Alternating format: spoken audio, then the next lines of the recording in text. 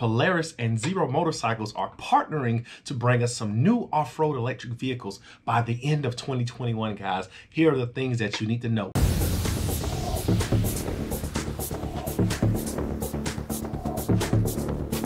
So, on September 29th of this year, Polaris announces a partnership with Zero to co-develop some electric motorcycles and off-road vehicles to debut at the end of 2021.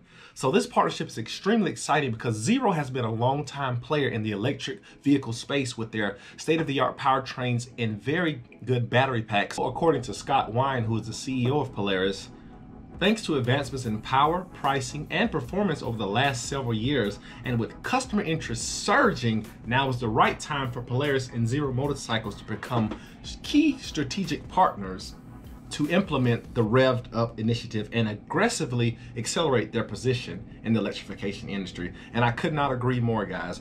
With the surge of Teslas and their prominence in the electric space, interest is absolutely soaring. And then the realization that electric powertrains are very powerful is now for many consumers. So it is a perfect time for us to see a partnership like this flourish. So I'm very excited for one because I do have experience in the space with Zero motorcycles as I owned a Zero DS, rebuilt it from Copart. You can check the video link here where I do have experience with their powertrains and some of the, the methods that they use to industry lead in the motorcycle market. So it, let's take a look at some of their motors and see what makes Zero motorcycles so special and why they are a perfect choice for Polaris. Zero Motorcycles powertrain comes in a couple of different variants. They're mainly their 75.5, 75.7, and 75.10 motor variants are their primary uh, motor powertrain tiers that they use in their current lineup of motorcycles. In the DS that I own, it uses a 75.7 motor, which is an internal permanent magnet motor, which offers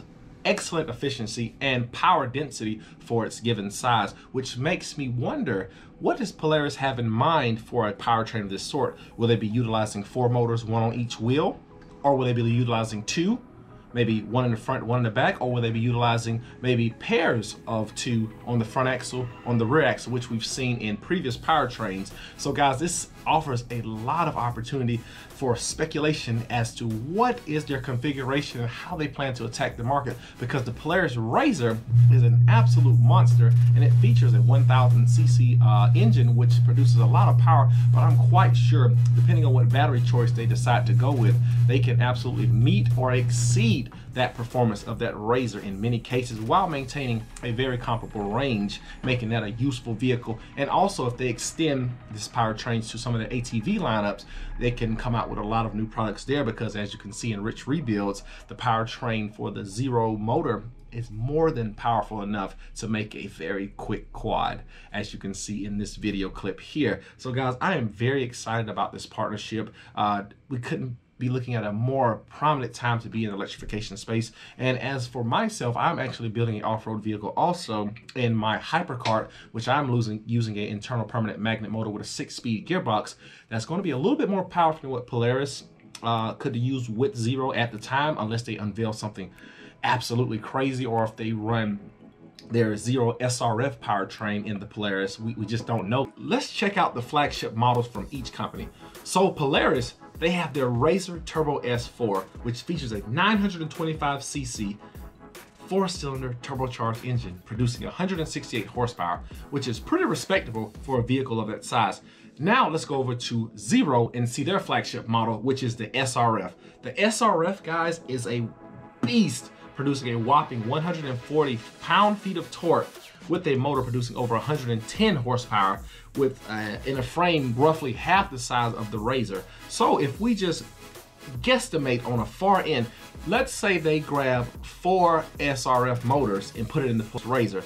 Guys, that could be over 400 horsepower with a ton of torque in a RZR. That is more power RZR frame. So I'm super excited and their batteries are very modular. They will be able to fit uh, probably about four of those SR/F batteries on a Polaris RZR. And the SR/F range is over 160 miles in the city. So if you multiply that by four, you can absolutely see how you can get a usable, high-powered off-road solution by combining the power and expertise of the two companies. If you love this kind of content, please don't forget to like, subscribe, put your comments below. And if you are interested in any of my other videos and links I'm going to put those below also so you can check out some of the products that I use also. So I'll see you guys in the next video. Later.